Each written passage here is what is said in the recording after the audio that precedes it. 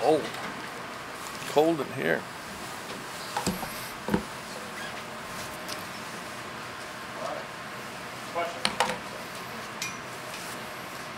How you feeling? Good. Yeah, good. Have you ever had a moment in your career like that where you had a collision sideline? No, I haven't. But it felt like just like uh, I tore my knee up 1976 playing shortstop against Rhode Island. So it felt the same way. You know, but my knee got caught on the bag and I got caught on something and I was fine. I was knocked out for a little bit, but then just went up in the box. took a while with all the uh, all the drama with the uh, tunnel, you know. So, but uh, yeah, I'm all right. What drama was, was that just the two teams having to go up and, you know, Well, they wait, you know, the band's there too, and then they you couldn't get me to the to uh, have uh, X-rays until they everything cleared out. So, so that that you know, and then they got to drive all the way around the stadium to get up into the uh, press box. But I got there about midway through the third quarter, or something like that. What did the x-rays show?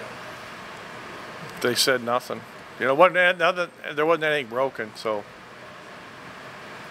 so that's good. I, I'd had surgery and I had reconstruction surgery. They said, you know, I got all metal in there. I had that done like 2018. I think that helped it. So, you know, so I just got a sprained MCL or something like that. Random. Yeah. So I'll go up in the box the next two games. Was there any doubt that you wanted to continue to call plays that game instead of? What's that? Was there any doubt that you wanted to continue to call? No, plays there wasn't any doubt. No, there wasn't. I was getting ready to, if we got the ball back for a two minute drive, you know, at the end of the half. So unfortunately, we didn't get that chance, but, um, you know, so. what's the difference between calling plays up there and being down on the sidelines? What do you gain? Yeah, some you can see better, you know. Casey will probably be happy I'm up there, you know.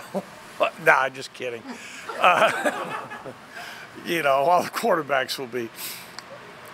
When I first, uh, you know, I, I'd been up there one year in 2008. I didn't call plays with the Eagles, but uh, you can see better. You can see things, and um, you know, um, you don't have the feel of the game like you do on the sideline. But uh, you know, all the years as a head coach, I was on the sideline, so you know, it, it, it was fine there. As I said, probably be a little bit more organized for halftime. You don't get you don't get to the to uh, the locker room is quick, but you probably a little bit more organized, and um, you know, we'll see how it goes. You feeling more encouraged about Casey's chances this week? Yeah, a lot more. You know, he's more important than I am, and uh, you know, so um, yeah, he's practiced some, and then uh, guess they said I don't know. I get you know, unfortunately Chubb is out, and, you know, and, and uh, you know Logan's had some reps, has had reps, and so we'll go from there. Is there genuine chance that Jarrett Synek may have to play in this game if Casey can't go? Yeah, yeah. That's why you got a, three snaps. You know, try to get him there at the end, just so you know. It was a, it was. I asked, told the quarterbacks. We had it in a meeting. I said, "Hey, tell give give Jarrett advice if he has to go in." So they all did. You know. Then I told him the story about Ben's first time in against the Ravens, and his first pass was an interception to, uh, I think it was to Dalius Thomas. He came to the sideline. I didn't have a pleasant thing to say, and he just looked at me and said, ah, "I threw the first my first pass in college to Larry Foo was an interception." So I said, "Jarrett, don't do that. You know, that doesn't mean you're going to be a Hall of Famer, but you know, just relax and, and play." So even just getting out there um, could help him. So How is Ca- how did Casey look today?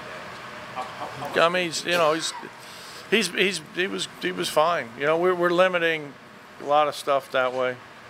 You know, he just hadn't practiced in a while, and um, you know, we'll look at the practice today and giving him enough that way. We don't want to push it, so you know, we'll just see where, where he's going to be. Not, not that you could change anything about the last two and a half games, but how much different would they have been if he had played? I don't. You know, we were we were. I mean, Illinois, we had a good plan. I thought coaches put together, and you know, had a lot of yard. You know, we just it's just different when you don't have the guy there that, and nothing against the other guys. It's just he's been getting the reps and th- there's a chemistry that you build between um, the receivers. You know, Chubba and Logan haven't don't throw to Trey. They don't throw to Travis. They don't. You don't get those reps, so it's a different kind of thing there. And I thought Chubba took a step at Michigan. I thought he, he, he carried himself with a lot of confidence. I was really pleased. I told him I was proud of him.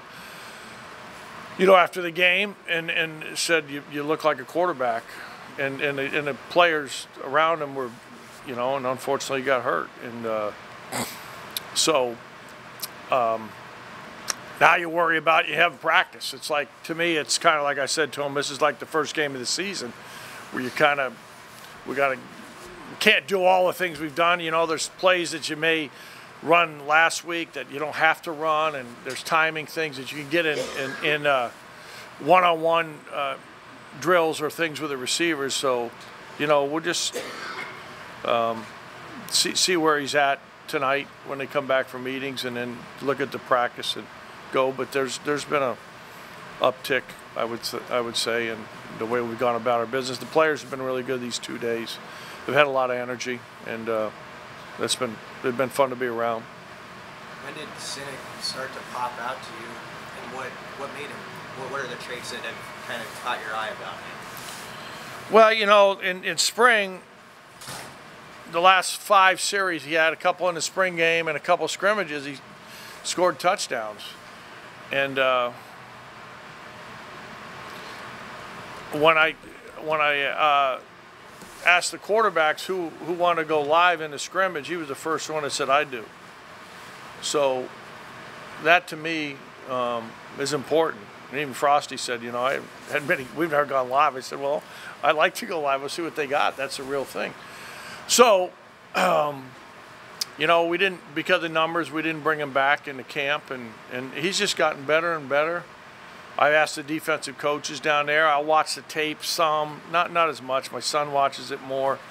I Ask how he's doing. And, you know, they all said, hey, Jarrett's really been the one that is really given the best look and done a really good job. And those other two guys have done well. So um, I just made a decision and talked with Mickey about it. And um, so I said, uh, I think Thursday to him.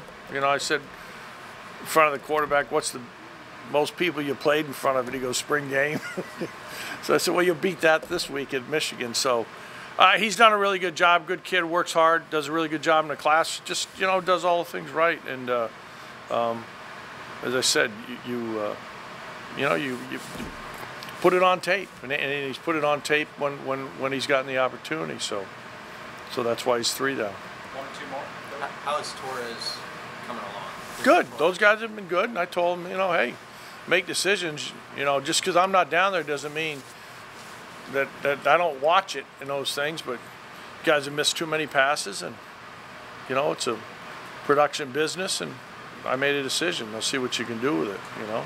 I know know you've still just been here a short time with the senior class being honored this week. What stands out about that group I guess this week?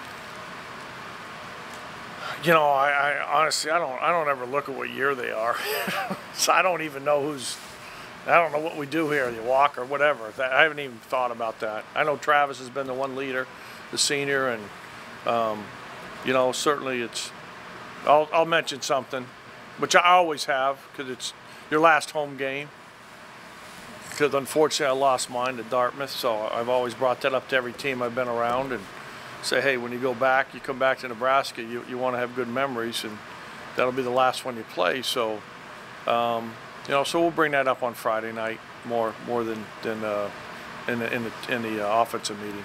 Did you ever face uh, Jim Leonhard when you were uh, coach in the NFL, and what do you think of his defense at Wisconsin? No, he's done a good job. I've always heard good things about him. I, you know, Donnie's. Jim Hueber, I worked with at, uh, my son worked with him at Pittsburgh, and Paul Chryst was a good friend, and um, you know, and they've always done a good job, and you know, in Wisconsin, what what's it been 12 years since Nebraska's had a win against them. So I don't really know them personally, but you know, I have a lot of respect for all those the way they go about their business, and certainly what they put on tape. You know, those guys play hard and well coached, and you know, it'll be a tough, tough game this weekend. Okay, thanks, good to see you. Good to see you